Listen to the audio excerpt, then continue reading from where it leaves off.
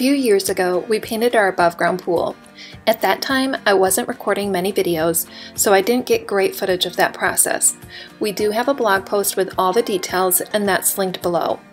It's something we always get lots of questions about, so I decided to put together this video with a little bit of footage I do have. Most of the video is from Instagram stories or just regular photos, so it's not the greatest. But hopefully will help with any questions you might have about how to paint a pool. We found our pool on Craigslist for $300, but you can sometimes find free ones. We paid because it came with extra things like a pump, pool cover, ladder, and other supplies we would have been buying anyhow. The difference a little bit of paint made is huge. We went with black paint because it matched our patio wall, and I was hoping maybe it might help the pool be a tiny bit warmer. It is an unheated pool. Sadly, we've never really noticed a difference with that but maybe somewhere that gets more sun might notice a difference with it. For this project, we used oil-based paint because it's better on metal and will hold up better in the long run. We used Rust-Oleum oil-based paint in a flat finish. We used this paintbrush for oil paint for cutting in, and we also used a paint roller. We did buy painter's tape and planned to use that on the top rail and posts, but ended up not doing it because it just felt like it was taking too much time. And Mike is a pretty great painter, so he didn't really need it. So it's up to you on whether you use it or not. First, we cleaned the pool walls really well.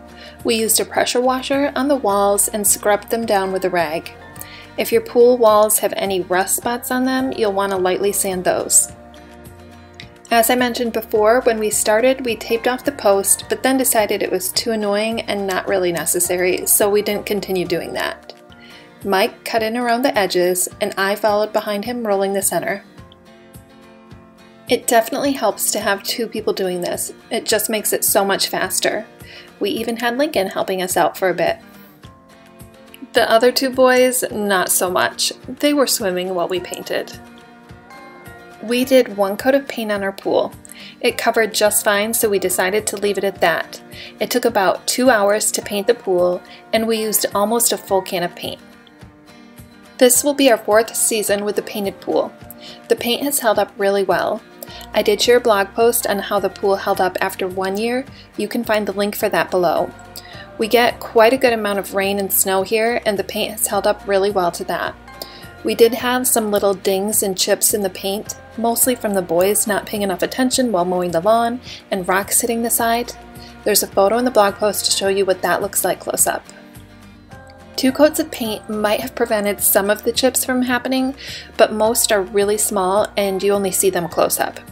We aren't perfectionists when it comes to our yard, so this was just fine with us. This year, I know the paint will definitely need to be touched up. We've gotten more dings and chips in the paint, so we're planning on doing that once it's actually warm enough here to open the pool. Overall, this is definitely a project I would recommend. A can of paint in a couple hours made such a huge difference. Let us know if there's any questions you have that we didn't answer.